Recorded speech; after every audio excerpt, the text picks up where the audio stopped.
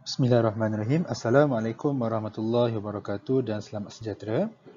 Okay, so kita akan mula bincangkan tutorial 6.4 uh, integration by parts. Okay, so yang mana first thing first kita tengok dulu apa yang syllabus bagi tahu. So kita ada uh, 6.4 integration by parts lah. Okay, mana kita nak evaluate the integral using integration by parts. Kita ada formula u dv is equal to uv tolak juga dengan integration v du. Okay, dan dalam syllabus dah tahu eh, kita akan exclude cases that require integration by parts more than once. Ha. Dalam kata kata lain, boleh je ada sesuatu soalan yang okay, yang uh, kena buat dua kali by part, uh, dua kali by part. Uh, sebagai contoh, kan, kan kita dah letkan dia jadi uh, apa nama ni dalam bentuk u dv is equals to uv tolak juga dengan integration of v du kan.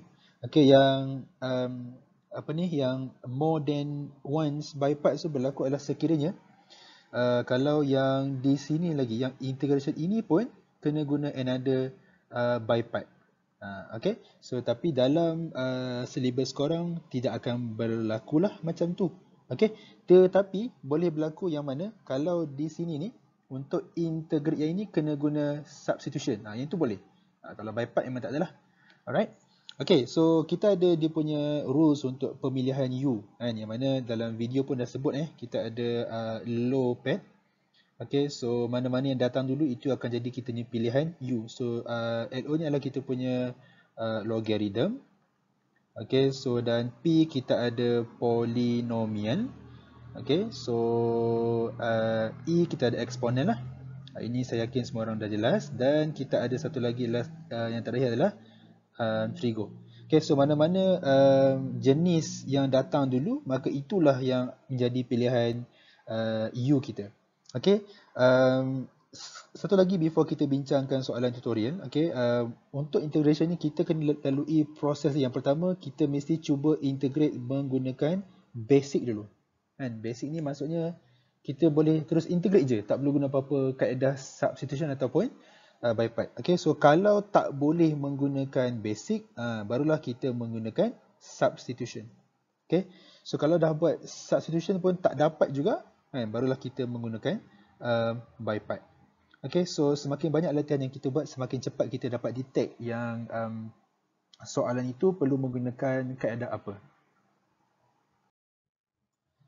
okay so kita tengok ke soalan tutorial 6.4 question 1D Okay, so kita tak bincang semua soalan lah. Okay, so untuk dalam situasi ini, ingat kita sentiasa ada uh, uh, law pad Okay, so kita ada log, polinomial, exponent dan juga trigo. Dalam situasi ini, kan, kita punya, um, ini kita ada ln, modul, uh, ln square of x ni adalah kita punya uh, LO, kita punya apa nama ni, uh, logarithm. Okay, so maksudnya itulah yang jadi pilihan U kita. Okay, so kita ada U is equals to ln square of x dan selebihnya, ha, selebihnya kita ada square of x dan juga dx ni. Selebihnya hendaklah menjadi kita punya dv. So kita ada dv is equals to uh, square of x dx. Nah, mesti tulis termasuk dx tersebut. Okay, so u ni saya nak tukarkan menjadi um, 1 per 2 ln uh, x sebab uh, square root tu hanya milik x kan. So x tu boleh buat di depan lah. So dan kita akan buatkan uh, du dx. So kita ada 1 per 2 darab juga dengan 1 per x. So kita nakkan uh, du is equal to something. So kita ada du is equals to dx over um, 2x. Okay, so yang di belah yang belah dv pula kita akan uh, integratekan dia kan so, bila bila integratekan dia um, yang ini kita boleh anggap sebagai simbol integral jumpa d saya bahasa mudahnya kita anggap dia hilang lah. Maka tinggal v saja okey so integratekan square of x eh. So kita akan dapat dia sebagai um, x kuasa 3 per 2 per 3 per 2 um, dan bila kita simplify dapatlah 2 per 3 x kuasa 3 per 2 bila kita integrate V tu uh, belum lagi uh, apa ni tak perlu letak plus C lagi pun tak apa. Letak akhir sekali baru kita letak.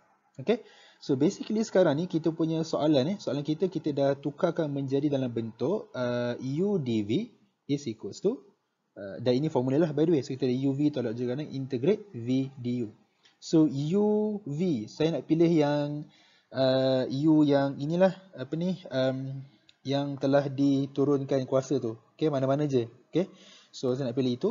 Uh, so basically kita ada 1 per 2 ln x. Okay, darab juga dengan v. So v kita ada itu, kita ada 2 per 3. x kuasa 3 per 2. Okay, tolak juga dengan integration of v du. So v kita ada 2 per 3 tadi tu. So x kuasa 3 per 2. Dan kita punya du adalah dx per uh, kita ada dx perkan dengan uh, 2x. Ha, ini kita punya v. Okay, so mana-mana kita boleh simplify, kita akan simplify dulu sebelum kita integratekan. So yang ini saya nak jadikan dia sebagai um, 1 per 3 um, x kuasa 3 per 2 ln x. Ha, just nak susun dia je. Okay, so tolak juga dengan, uh, so kena maklumlah yang this 2 and 2 ni boleh kita cancelkan. So kita uh, 1 per 3 saya nak letak dekat luar. Okay, dan juga uh, kita uh, boleh simplifykan yang x kuasa 3 per 2 dengan x ni. Ha, yang mana 3 per 2 tolak 1 lah. Ha, maka dapatlah x kuasa um, 1 per 2. Okay, so akan dapat x kuasa 1 per 2 dx. Selepas simplify barulah kita integratekan dia. So kita ada 1 per 3. Um, x kuasa 3 per 2 ln x. So tolak juga dengan 1 per 3. Um, x kuasa 3 per 2 balik. Kan? Tambah juga dengan, uh, perkan dengan 3 per 2. Dan di sini baru saya nak letak tambah C. Okay. So, bila kita simplifikan, maka kita akan dapat dia sebagai 1 per 3 X kuasa 3 per 2 um, ln X. Tolak juga dengan um, 2 per 9. Ha, so, 2 per 9 X kuasa 3 per 2 tambah juga dengan C. Okay. So, yang mana um, inilah kita punya uh, jawapan akhir untuk soalan ini.